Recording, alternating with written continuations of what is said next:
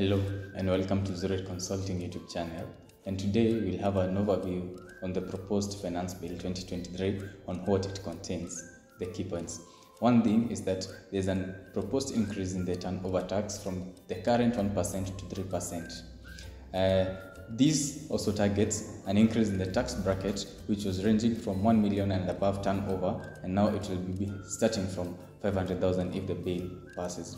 Also, there's the introduction of the digital asset tax, whereby upon sale of any digital asset, you'll be required to pay 3% of your sale to the KRA. Also, there's the reduction of the rental income tax, whereby it was currently uh, it's currently at, is at 10% and it is proposed to be reduced to 7.5%.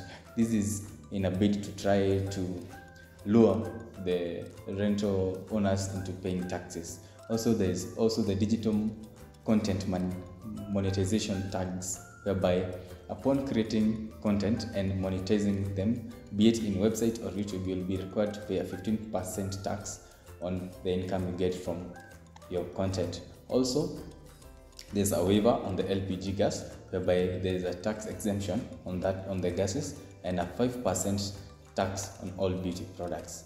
Also, as in the pay as you earn, that is the PAYE, there's a proposed change whereby anybody earning above 500,000 5 million is expected to pay 35% tax opposed to the current 30%. Yeah. Also, there's the proposed housing bill, the 3%, whereby you'll be expected to pay 3% of your in monthly income towards the National Housing Fund, whereby it will be refundable after seven years if you are not eligible for the housing product. Thank you for watching.